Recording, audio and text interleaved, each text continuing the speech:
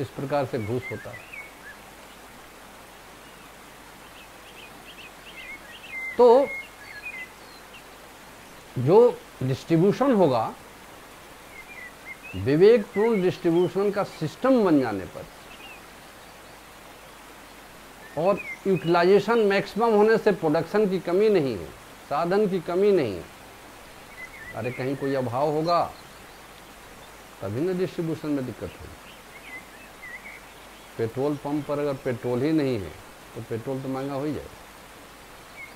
लेकिन आदमी निश्चिंत है कि चाहे बारह बजे रात को जाओ, हमको पेट्रोल वहाँ मिल जाए तो उसको इकट्ठा करने की अपनी टंकी में क्या ज़रूरत?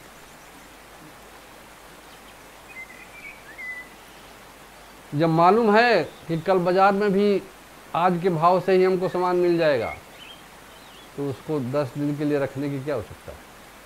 सब्ज़ी फ्रीज में क्यों जमा करें? लेकिन जब उसको चिंता है कि पता नहीं कल प्याज क्या भाव मिलेगा तो जमा कर ही लेगा। तो आजादपुर मंडी में इतना प्याज नहीं आया और डिमांड बढ़ गया तो भाव तो बढ़ जाएगा।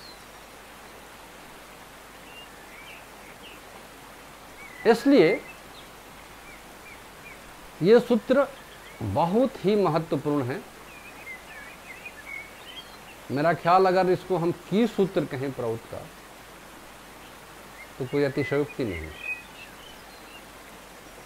अभाव कब होता है? जब साधन नहीं। तो साधन बढ़ाने के लिए रास्ता दिया जा रहा है।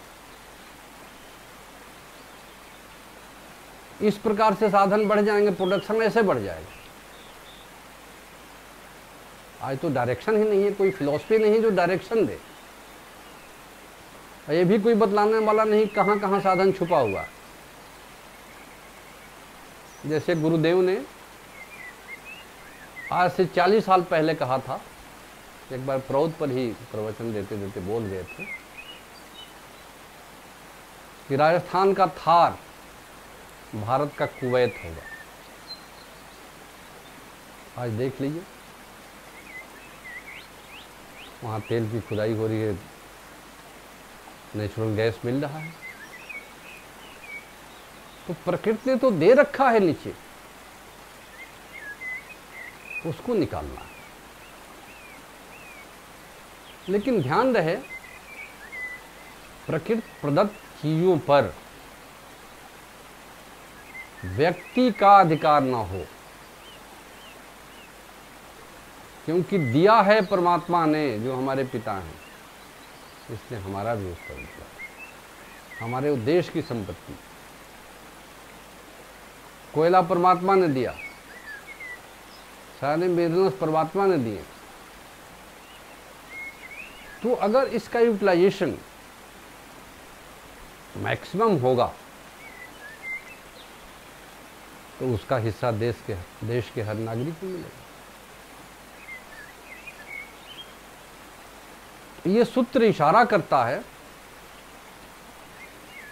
कि अगर भौतिक स्थूल जगत की चीज़ हमको दिखता है कि कम पड़ रही है, हम सूक्ष्म जगत में खोजते हैं। फोसिल ऑयल अगर ख़त्म हो गया तो हमको ऐसी कार बनानी होगी जो सोलर से चले। ऐसी कार बनानी होगी जो और सूक्ष्म एनर्जी से चले। इस प्रकार से हम क्रमशः आगे के आगे बढ़ते गए तो इस सूत्र के द्वारा हमारी निराशा का अंत होता है कि भौतिक साधन यद्यप सीमित है, स्थूल जगत।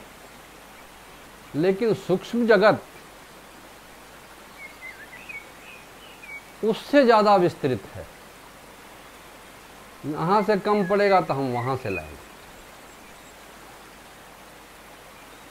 कैसे होगा वो भी इशारा है माइक्रोवाइटा के प्रयोग के द्वारा।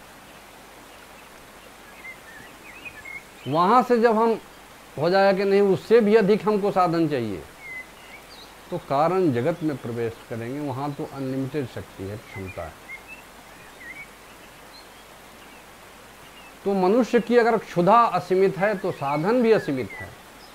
अगर तीनों जगत को हम मिला करके अगर देखें तो और उसके रास्ते खोलें तब प्रवर्तक, क्योंकि धर्म गुरु हैं, बेसिक तौर पर, बुनियादी तौर पर धर्म गुरु। वो सामाजिक चिंतक नहीं है, धर्म गुरु। वो मानवता पर करुणा करके उन्होंने देखा कि आज का भविष्य का मानव परमात्मा की औलाद सुखी कैसे रहेंगे।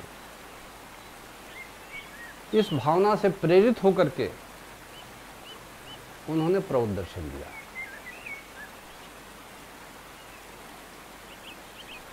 तो आज हमारी दृष्टि केवल स्थूल जगत तक है। इसलिए स्थूल चिंतन में हम उलझे हुए हैं। ये भूल जाते हैं कि इसका यूटिलाइजेशन करने वाला हमारा सूक्ष्म मन है। साइंस टेक्नोलॉजी हमारा सूक्ष्म मन भी ये भी हम जानते हैं कि पढ़ने, लिखने साइंटिफिक प्रयोग से भी हम संतुष्ट नहीं होते। हमारे अंदर कारण मन भी है जो परमात्मा की खोज करता है। उनके यहाँ और किसी चीज़ की कमी नहीं इसलिए हमको जहाँ से हमारी तैयारी है भविष्य मानव की बच्चों के रूप में, उनको शुरू से तैयार करना है। और ये पढ़ाई शुरू करनी पड़ेगी। नहीं तो आज पूरे विश्व में निराशा का वातावरण। इसलिए पेट्रोलियम देशों के ऊपर सभी बड़े देशों की नज़र है और लड़ाई का एक सबसे बड़ा कि जिसके पास पेट्रोल है, वो वो पावर है। अगर हम देख लें कि हम दूसरा पावर का सोर्स खोज लिया तो होड़ खत्म हो जाएगी।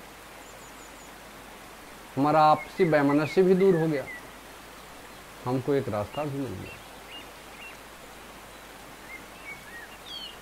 इसलिए हमारे आईआईटीज को, हमारे साइंस इंस्टीट्यूट को, हमारे साइंटिस्ट को, इन सबको अपने मानसिक लैब में रिसर्च सिखाना होगा। ताकि सूत्र का सहारा लेकर स्थूल जगत में अपने मन और ध्यान के द्वारा कारण जगत से हम सूक्ष्म सूक्ष्म तरंगों को पकड़ करके अब से लेकर के और निकट भविष्य में और सुदूर भविष्य की हम प्लानिंग करते सकें क्योंकि क्रमशः हम विकास की प्रक्रिया में हज़ारों वर्षों में शरीर से मन और मन से आत्मा की तरफ़ चल रहे हैं। प्राउत उसी दिशा में एक प्रयोग नहीं, एक निदान है।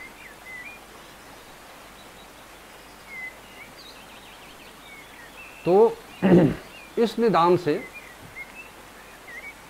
हमारा रास्ता बिल्कुल स्पष्ट, सीधा दिखता है। लक्ष्य दिखता है कि इस पृथ्वी का अंधकार में भविष्य नहीं है। मानवता का उज्जवल भविष्य है। हमारे सुख का रास्ता है और कल्याण हमारे आगे छुपा हुआ है। हमारे लिए किसी प्रकार का अगला समय दुख का नहीं है। आनंद का। है